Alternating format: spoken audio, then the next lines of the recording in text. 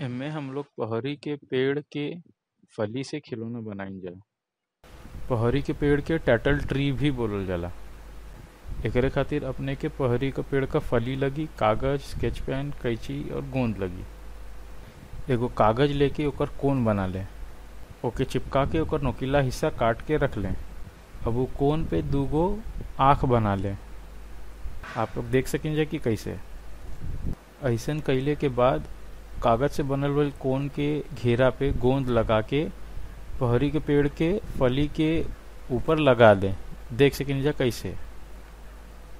ये एगो पंछी बन गई चोच के साथ। ये देख सकें जा कि झूला भी झूलती है।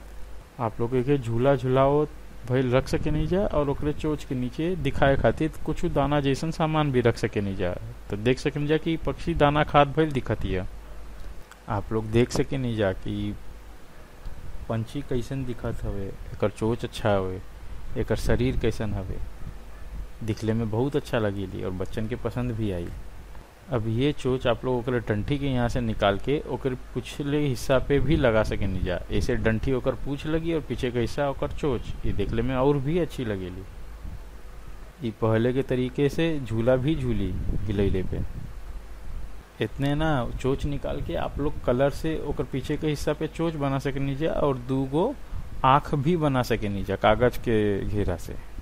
आप लोग देख सकत हैं जाए कितना सुंदर लगत ही एकर पूछ काफ़ी लंबा हवे, हिलैले पे घूमे ली भी।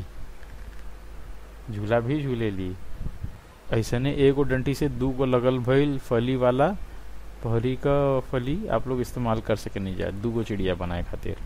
ऐसे आप लोग हाथी का मुँह भी बना सकें जाओ कर डंठी होकर सुन रही, दूगो कागज़ का कोन बना के आप लोग होकर दांत बना सकें जा और दूगो आँख चिपका सके नीचा आप देख सके नीचा कैसन था भाई हाथी। ये हाथी के आप लोग अच्छा से अगर दीवार पे टांगे तो ये बहुत अच्छा भी लगी, घर में सजावे के भी काम में आ सकेला।